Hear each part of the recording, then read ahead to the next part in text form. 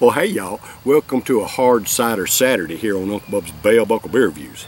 Um, and it's a, it, it, yeah, it's Bell Buckle Beer Reviews, but I've got a hard cider today. Um, this comes from the Urban Orchard Cider Company.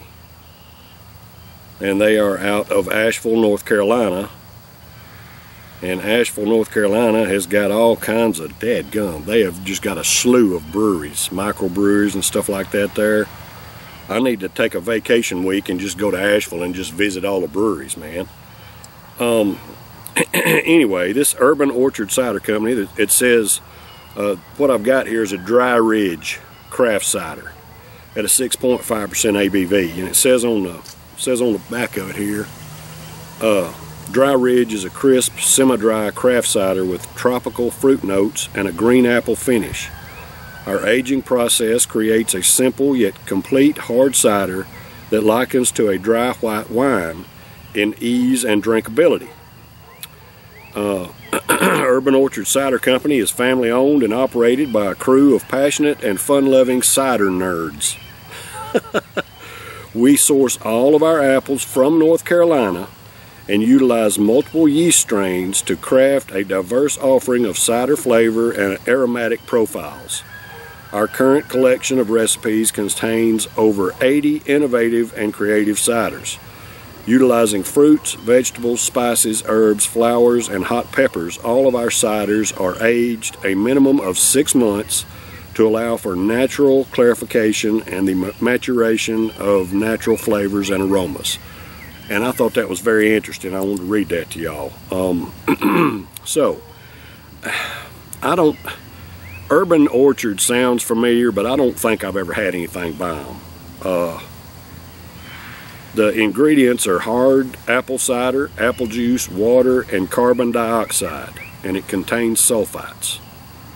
So, it sounds more like it's a concoction rather than a brew but um, whatever. Anyway, it's got carbon dioxide in it. I wonder if it's going to have carbonation. I would assume, but you never can tell about some of this stuff. There's a little bit of fizz right there. Let's see what we got here.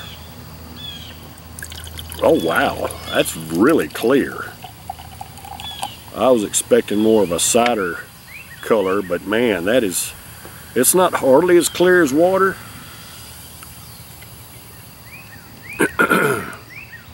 it's got just a yellow tint to it, just a slight yellow tint to it. It's not as clear as water, but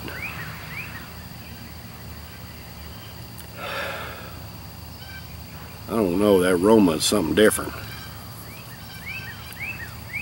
Urban Orchard Dry Ridge. So it likened this cider to a, a, a dry white wine. I think it's what it said on here. Yeah. Oh, this is supposed to be like a dry white wine. And it, it, it kind of looks like it. Um, kind of looks like a white wine. Because that's the kind of tint it has to it. It's really light. Let's give it a taste, see what we got.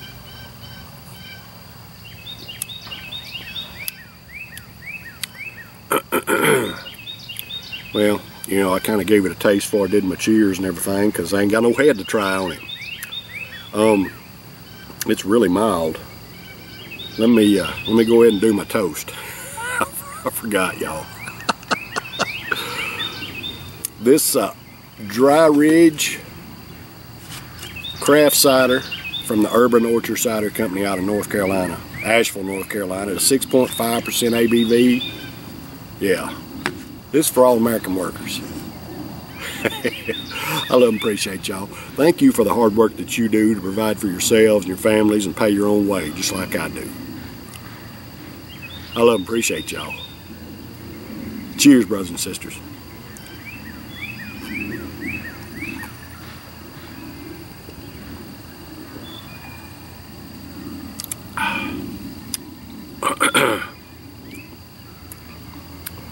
so it's not really on the level of a dry white wine.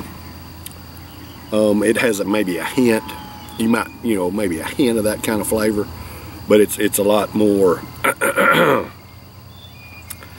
um, I don't know. It, it doesn't taste as matured as a wine would. Let me put it that way.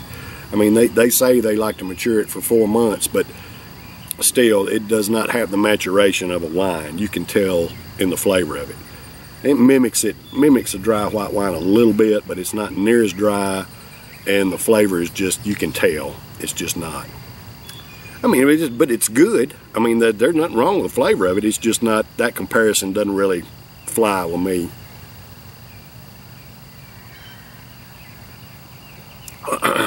As it's got a good flavor. It's it's very light and very crisp. Um, I can see, I can, I, I can see it. I can, I can taste or I can relate to the green apple finish it was talking about. I think that's what it said. Craft are tropical fruit notes, nah, I'm not really getting that, but the green apple finish I am getting. Um, I don't, I'm not really getting the tropical fruit notes in it at all. Um, it, it has an, on the front end, it's, it's got a little bit of an apple type flavor, not getting the tropical fruit notes.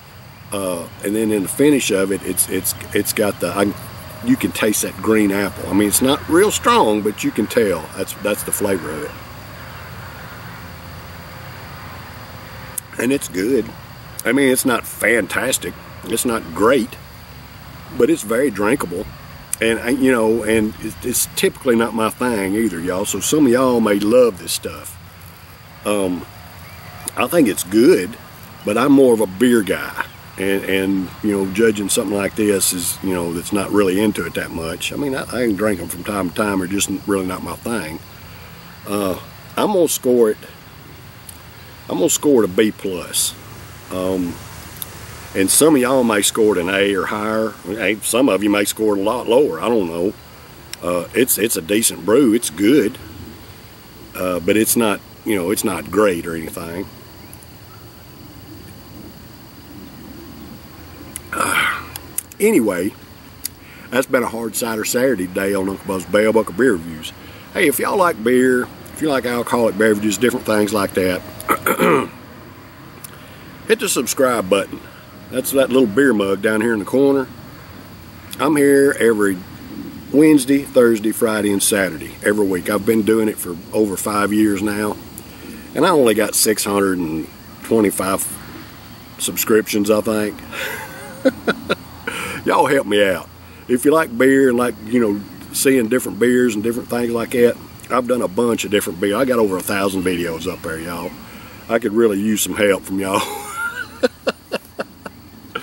I don't get, I'm not monetized. I don't get paid to do any of this stuff. I just enjoy drinking beer and, and, uh, and loving on the American people, letting them know how much they're loved and appreciated because the, they're the backbone of America. I mean, America don't roll and move without its workers. If every one of us was to stop our jobs tomorrow, America would fall apart. I mean, it'd just be panic everywhere. So, I mean, we're the backbone. Uh, the government ain't nothing but a, a, a, a what do you call it, um, a parasite. American workers the backbone, and the government is the parasite that's sucking us dry. Anyway, off my soapbox. I love and appreciate y'all. I'll be back next week. Y'all stay tuned. Take care. Cheers.